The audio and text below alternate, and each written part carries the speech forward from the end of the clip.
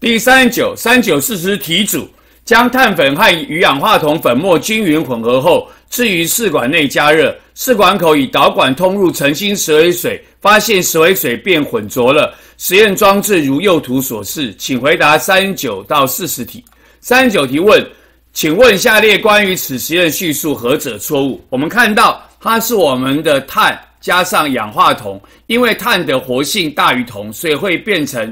铜加上二氧化碳，这也是只写出反应的结果，并没有平衡。所以他说二氧化碳通入澄清石灰水，因此它会有白色的浑浊。这里我们看到有人得到氧，碳得到氧；有人失去氧，氧化铜失去氧，所以它是一个氧化还原反应。所以猪选项是对的。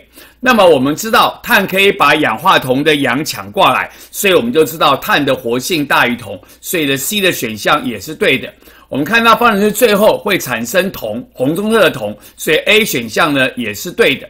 那我们看到氧化铜呢失去氧变成铜，所以呢它失去氧叫做还原，所以氧化铜发生的是还原反应，所以 B 选项说发进行氧化反应是错的。所以第三十九题问我们说，请问下列关于此实验叙述何者错误？我们答案选的是 B，此反应中氧化铜进行氧化反应错，它进行的是还原反应。